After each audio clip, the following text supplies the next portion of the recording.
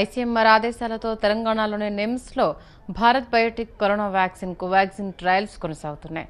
తొలి దశలో యాభై మందికి వ్యాక్సిన్ ఇచ్చిన వైద్య బృందం ఆపై వారిలో ఏడుగురికి బూస్టర్ డోస్ను ఇచ్చారు. మరో నలభై మూడు మందికి దశల వారీగా బూస్టర్ డోస్ను అందించనున్నారు. ఆపై వీరందరి ఆరోగ్య పరిస్థితిని ఎప్పటికప్పుడు వీడియో కాల్ ద్వారా వైద్యులు నిత్యము పరిశీలిస్తున్నారు. తొలి రెండో డోస్ వ్యాక్సిన్ తీసుకున్న వారందరి ఆరోగ్యము బాగానే ఉందని వైద్య బృందాలు నిర్ధారించాయి. ఒకసారి వ్యాక్సిన్ తీసుకున్న తర్వాత ఇరవై నాలుగు గంటలు ఆసుపత్రిలోనే ఉంచి ఆరోగ్యం బాగుంటేనే వారిని ఇళ్ళకు పంపుతున్నారు. ప్రస్తుతం ఎంపిక చేసిన వారికి నిర్ధారిత సమయాల్లో రెండో డోస్ను ఇస్తున్నామని నిమ్స్ అధికారులు వెల్లడించారు.